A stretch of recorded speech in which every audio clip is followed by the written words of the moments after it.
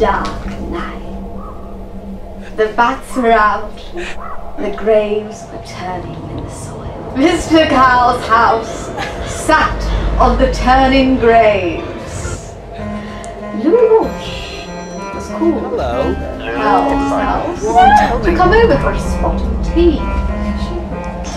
And as he drove up the long winding road, he could hear the bats Mr. Cow's house, he noticed a silver jacket lying on the ground. He thought, ooh, maybe this is Simon Cowell's. Maybe I'll give it to him.